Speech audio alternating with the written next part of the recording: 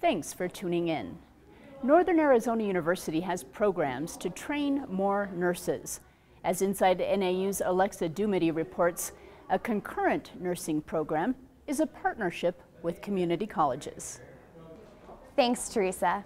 The nursing degree program is a partnership between NAU and Maricopa Community Colleges, facilitated by NAU's extended campuses. These students are enrolled in the concurrent nursing program where they take classes at Maricopa Community College and Northern Arizona University. It's a very low-cost way for the students here at um, in Maricopa to be able to finish their degree. So they start here in the Phoenix area with the community colleges, and um, they're able to include the bachelor's degree program at the same time. So it means they can get a job sooner and they can actually get be employed.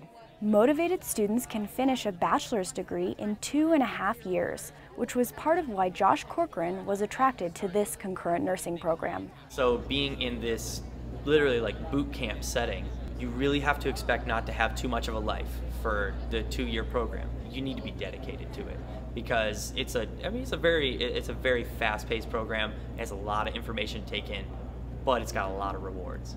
Nursing students know that legislators and policymakers want tomorrow's nurses to have more than a two-year degree. The education clinically is very similar, but with a bachelor's degree, you're opened up to some different aspects such as cultural views and communication.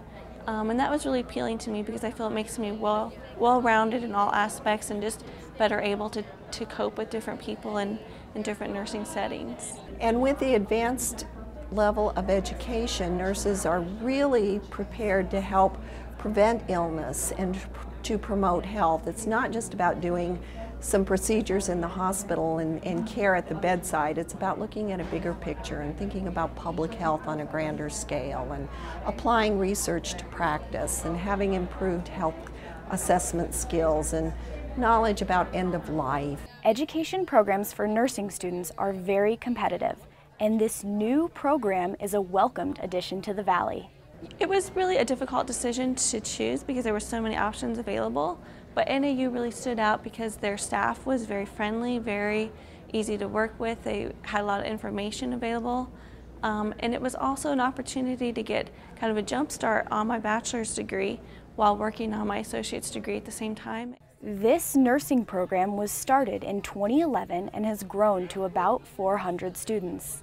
It's just been exciting. The students that are in this program, I think, are really grateful. They they haven't necessarily been able to go away to school to a bachelor's program, but having this option, I just see all these students, they're motivated, they're energetic, and they're just really grateful to have a chance. So it's good for everyone.